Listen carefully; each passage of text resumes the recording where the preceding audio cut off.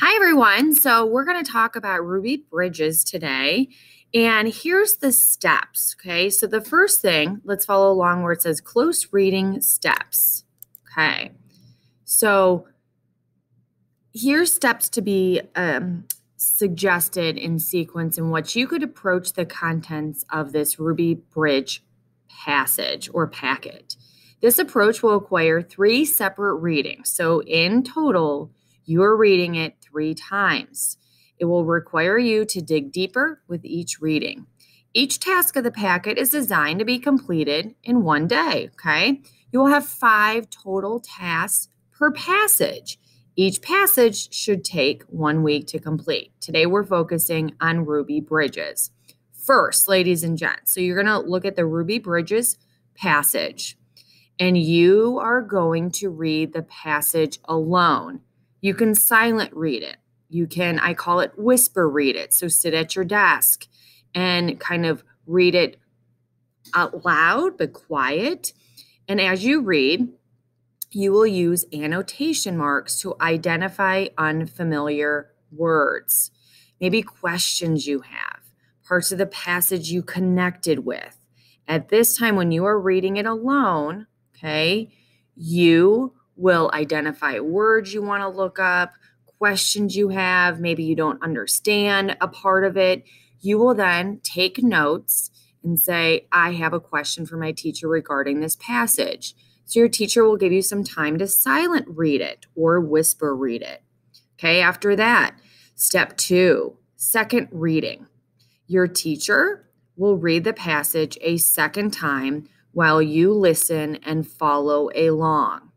You at this time will complete task two, which is vocabulary. So as you're listening to the passage, you will then go to the slide that says vocabulary and you will gain a better understanding of unfamiliar words from the passage, leading hopefully to a deeper connect- connection of that text. And then you read it a third time. The third reading you will reread the passage alone and respond to writing, citing specific text. Have students complete task three, which is reread and dig deeper. This page of questions requires students to use and cite specific text evidence when answering questions.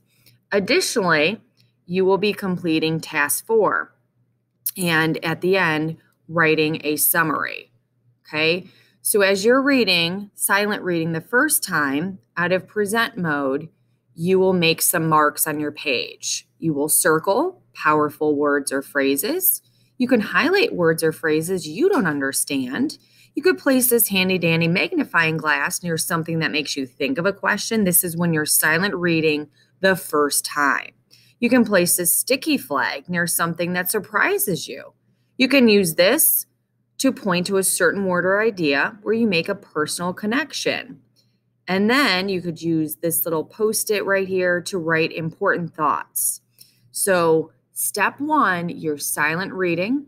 Then you're using these, these are called annotating marks. You can drag them, highlight, move them over to specific parts of that text. So, your teacher will probably give you about 10 minutes to do this portion.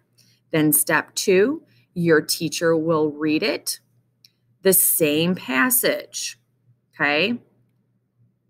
And then you will complete your task one, task two, which are important words and definitions. Task three is when you are doing it again for the third time and digging deeper and responding. All of this is pertaining to the same passage. So have fun. It's a great story, and she's such an interesting young lady and a huge inspiration. Definitely a girl of courage.